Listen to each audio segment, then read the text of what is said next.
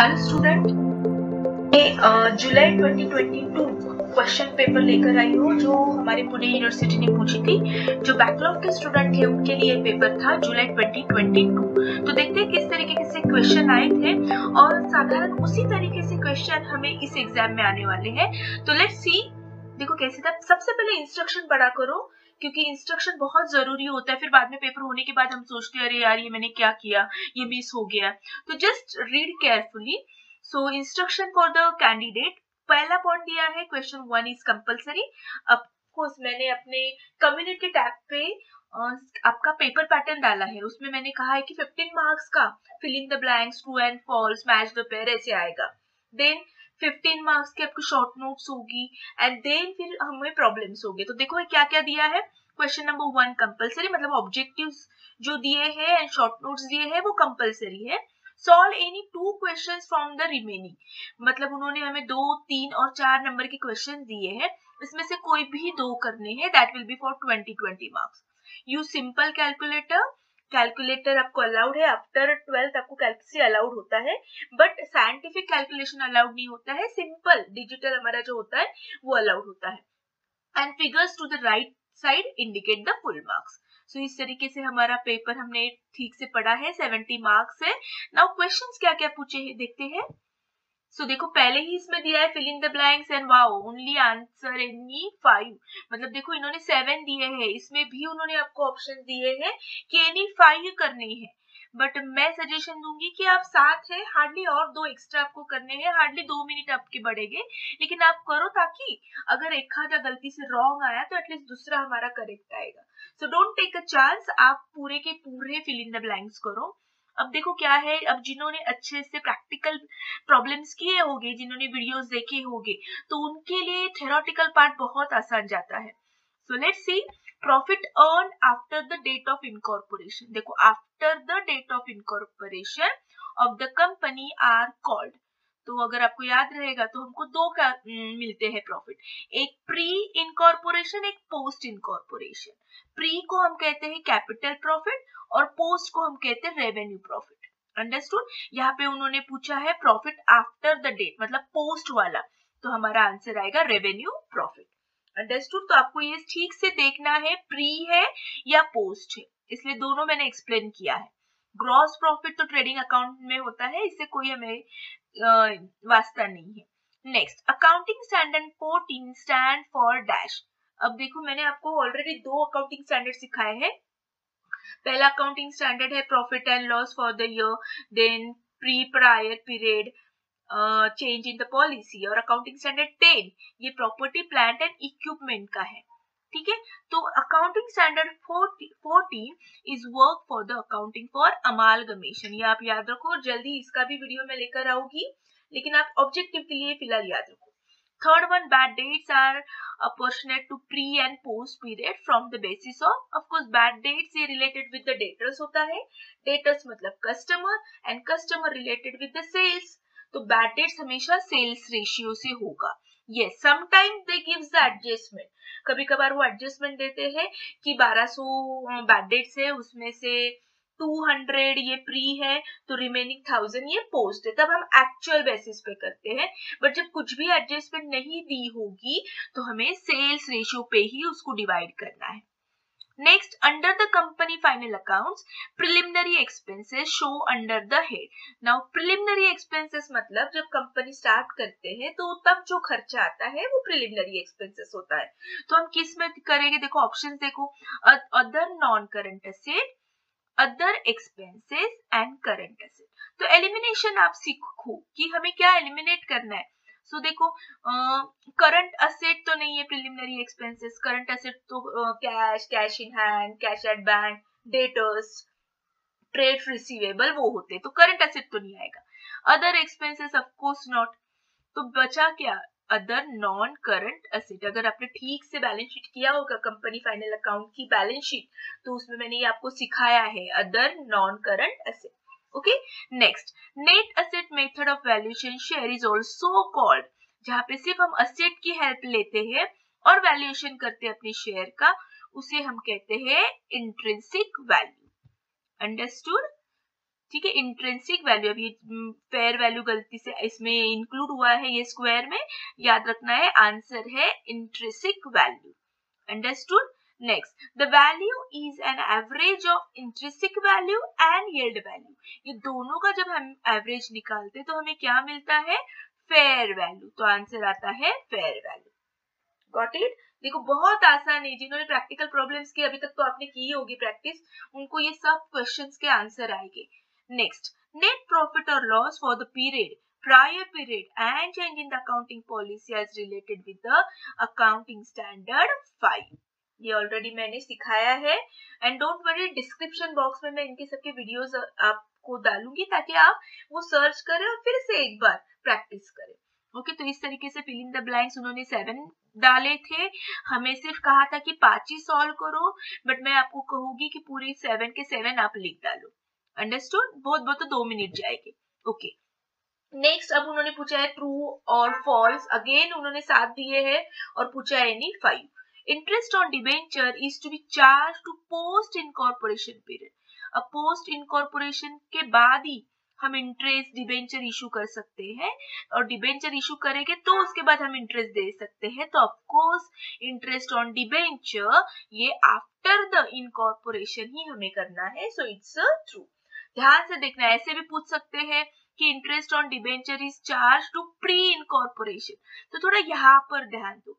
अगर उन्होंने प्री पूछा होता तो ऑफकोर्स ये फॉल्स आता।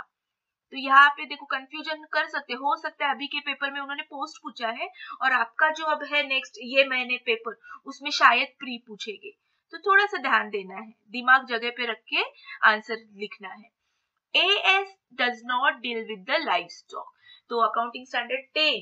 ये लाइफ स्टॉक मतलब एनिमल्स प्लांट से डील नहीं करता। ऑफ़ कोर्स इट्स ट्रू ये डील करता है property plant and equipment and and bearer plant got it bearer plant deal करता है, लेकिन लाइफ स्टॉक मतलब एनिमल्स क्रॉप्स प्लांट्स उसे नहीं करता है। बैरर प्लांट क्या होता है? वो क्यों करते हैं? ये मैंने बहुत अच्छे से एक्सप्लेन किया अकाउंटिंग स्टैंडर्ड टेन में। आपको सिर्फ़ S Y BCom semester three की प्लेलिस्ट चेक करनी है। आपको टॉप टू बॉटम सब वीडियो मिलेंगे। Next revenue profit are available for distribution of dividend of course revenue profit मतलब क्या? जो हमें पोस्ट इनकॉर्पोरेशन के बाद प्रॉफिट मिलता है वो। तो ऑफ़ कोर्स उस पे ही हम डिविडेंड क्या करेंगे? डिस्ट्रीब्यूट करेंगे। उसके पहले हमें मिलता है कैपिटल प्रॉफिट बट उस पे हम डिविडेंड डिस्ट्रीब्यूट नहीं करेंगे। So this is also true valuation of share is essential for amalgamation of the company देखो, जब दो कंपनी मर्ज होती है तो दोनों की कंपनी के वैल्यूएशन ज़रूरी है। और बड़ी बड़ी कंपनी शेयर्स ही, उनका कैपिटल शेयर्स होता है। तो वैल्यूएशन ऑफ़ शेयर ज़रूरी है before amalgamation got it so it's also true देखो, अभी तक के सब आंसर ट्रू है। Dividend calculated on paid up capital yes ये भी मैंने जब फाइनल अकाउंट सिखाया था, तब उसमें कहा था, इसकी दो एडजस्टमेंट भी मैंने सिखाई है डिविडेंड कि director has declare the final dividend तो डिविडेंड हमेशा पेड अप कैपिटल पे होता है। ठीक है तो पेड अप कैपिटल पे आपको ध्यान देना है। हाँ अगर ऐसे पूछा dividend is calculated on authorise capital तो फॉल्स आएगा। अगर पेड अप दिया है तो ही ट्रू होगा। गॉट इट चलो next one yield is the effective rate of return on the investment made by the investor of course yield method सबसे ज़्यादा इफ़ेक्टिव होती है इन्वेस्टर के लिए उन्हें फाइंड आउट करना होता है कि मैंने जो इन्वेस्टमेंट की है उस पे हमें सही रिटर्न मिल रहा है या नहीं तो this is also true and finally under the net asset method valuation of share current asset are to be taken at market value it's also true तो क्या बात है? देखो ऑलमोस्ट सब ट्रू है। वन मोर थिंग मैं और एक एक वीडियो लेकर आने वाली हूँ जो fill in the blanks match the pair Nirali publication के सबसे आखिरी पेज सबसे आखिरी पेज आप देखो उन्होंने ऑब्जेक्टिव दिए हैं। तो मैंने थोड़ा सा ढूंढा तो ऑलमोस्ट उसमें से क्वेश्चंस पूछे गए हैं। Fill in the blanks true and false अगर मुझे वक्त मिला तो ज़रूर वो वीडियो में लेकर आऊँगी। सो so, तो ऑलमोस्ट ये पूछा है तो एक बार वो गो थ्रू करो, एक बार आप भी वो बुक से रेफर करो। गॉट इट चलो next one match the following अब ये फाइव मार्क्स का है, इसके सभी आंसर देने हैं। इंटरेस्ट ऑन बैंक लोन अब पहले आप कॉलम ए ठीक से पढ़ो, फिर कॉलम बी ठीक से पढ़ो और फिर ध्यान से आपको मैच द पेयर करना है। कॉलम ए में दिया है इंटरेस्ट ऑन बैंक लोन चलो कॉलम बी में क्या क्या ऑप्शंस दिए हैं? Sales ratio finance cost earning capacity consolidate financial statement and post incorporation period तो इंटरेस्ट ऑन बैंक लोन ये फाइनेंस कॉस्ट में जाता है। If you remember statement of profit and loss उसमें एक्सपेंसेस के हेडिंग्स है। Cost material consume employ benefit then finance cost तो उसमें हम इंटरेस्ट लिखते थे। जैसे मैंने पहले भी कहा है, जिन्होंने जिन्होंने प्रैक्टिकल प्रॉब्लम सॉल्व किए हैं उनके लिए थियोरेटिकल प्रॉब्लम बहुत आसान जाने वाले। Okay next publicity charges now publicity मतलब ही advertisement and of course advertisement done on the sales ratio इसके जगह अगर एडवर्टीजमेंट भी दिया होता तो भी हमने सेल्स रेशियो पे ही डिवाइड किया होता। ये प्री एंड पोस्ट इनकॉर्पोरेशन उससे रिलेटेड क्वेश्चन है। Next directors fee now director fees of course post incorporation period director की पोस्ट कब निर्माण होती है? आफ्टर इनकॉर्पोरेशन प्री इनकॉर्पोरेशन तो डायरेक्टर की कोई पोजीशन होती नहीं है। मतलब वो वैकेंसी ही नहीं होती है। पोस्ट के बाद वैकेंसी निर्माण होती है। तो डायरेक्टर फ़ी हमेशा पोस्ट इनकॉर्पोरेशन पीरियड में जाएगा। यील्ड वैल्यू यील्ड का मतलब ही इंग्लिश में दूसरा होता है earning so yield value is earning capacity and finally बचाई क्या? Accounting standard 21 is related with the consolidate financial statement देखो कितना आसान है तो आई थिंक 15 मार्क्स तो आपको आराम से मिल जाएँगे। नाउ शॉर्ट नोट्स क्या दिए है? देखो यहाँ पे भी उन्होंने फाइव शॉर्ट नोट्स दिए हैं। आपको सिर्फ़ तीन ही लिखने हैं। उसमें से मैंने need for valuation of share explain किया है। अकाउंटिंग uh, स्टैंडर्ड में जल्द ही वीडियो लेकर आओगी then capital profit and revenue profit देखो ऑब्जेक्टिव में भी पूछा था। कैपिटल प्रॉफिट मतलब क्या? जो प्री इनकॉर्पोरेशन पीरियड में होता है, जिसमें हम डिविडेंड डिस्ट्रीब्यूशन नहीं कर सकते हैं। अगर कैपिटल लॉस है तो गुडविल में डेबिट करना है। तो ऐसे पॉइंट्स मैंने ऑलरेडी ये चैप्टर सिखाते वक्त एक्सप्लेन किए हैं। रेवेन्यू प्रॉफिट इज़ आफ्टर मतलब post incorporation this is useful for the distribution of dividend तो ऐसे आप थोड़ी लाइन लिखो, पाँच मार्क का है तो अंदाजे इसमें हाफ़ पैराग्राफ इन इसमें हाफ़ तो एक पेज ऐसे लिख दो। एम्प्लॉय बेनिफिट एक्सपेंसेस इसमें सब लिख दो, ये किसमें आता है? Profit statement of profit and loss में। क्या क्या बेनिफिट्स आते हैं? आप थोड़े एक्सपेंसेस लिखो, इसमें क्यों लिखते हैं, लिखो। ये नोट दिया होगा आपको, ठीक है? टेक्स्ट बुक में तो थोड़ा सा सर्च करो शॉर्ट नोट्स आप लिखो।